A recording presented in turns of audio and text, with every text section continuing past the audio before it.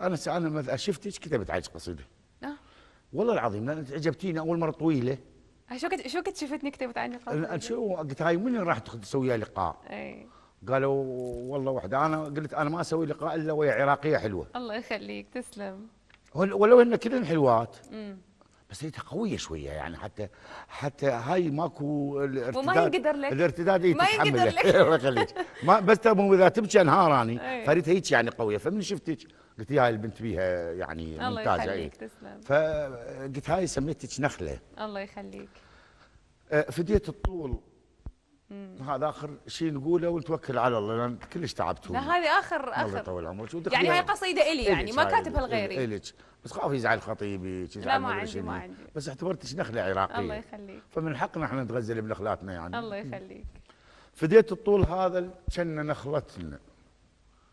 فديت عيون طول الوقت نعسانة. وفديت الحلق. وانت مذيعة.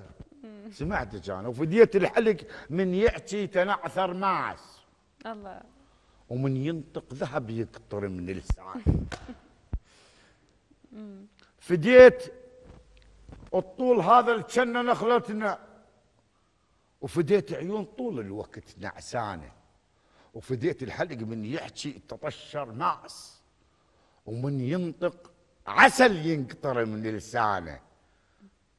هذا حلوق خلق الله. تبسمل من تريد تقول. وكان تقرأ الفاتحة بثواب مؤتان. الله الله. هذه حلوق. هذا شفاف. خلقها الله تبسمل من تقول. وكأنها تقرأ الفاتحة بثواب مؤتان. مو مثل حلوقنا تشتم بعضنا بغيظ. كان يشيل موس بفرقة أسنانه. ويلي مو مرأة شفتها. ملاك اليوم. الله يخليك. ومو مرأة هاي تستاهلين والله. الله يخليك. مو مرأة شفتها ملاك اليوم. ومن تمشي ترنح كانها سكران. لا صاحية. اسمحي لي يا وصف. ومو مرأة شفتها ملاك اليوم. من تمشي ترنح كانها سكرانة جيت أسألها أنت منين وأهلك وين؟ مو سألتك أنا؟ جيت أسألها أنت منين وأهلك وين؟ ويا ريم الفلا بياروض ربيانه جيت أسألها أنت منين وأهلك وين؟ يا ريم الفلا بياروض ربيانه بهمس تحكي تقول رفت جنح فراشات وجواب الصوت يعزف نغمة ألحانه عراقية النخلة هاي وجاية العمان ما يهديك ربك ترجع وياه.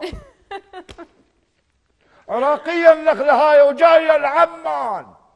ما يهديك ربك. ترجع ويانا. الله. لو نساك وقتك كل بقايا الليل حرام عليك تنسى زفة اصبعك الله. حرام الله. عليك تنسى زفة الله. الله. الله. صح لسانك. الطول. هذا كنا نخلة. الله. صح لسانك. صح بدنيك. صح لسانك. تستحق التصفيق. وتستحق كل كلمات الفخر والحب والاعتزاز والامتنان على هذا الوقت اللي انطيتنا إياه وانطيته لجمهورك وانطيته لمحبيك يا قائمة شعرية ما يختلف عليها اثنين. أشكرك وأنا ممنون من الشكر على هذا الاطراء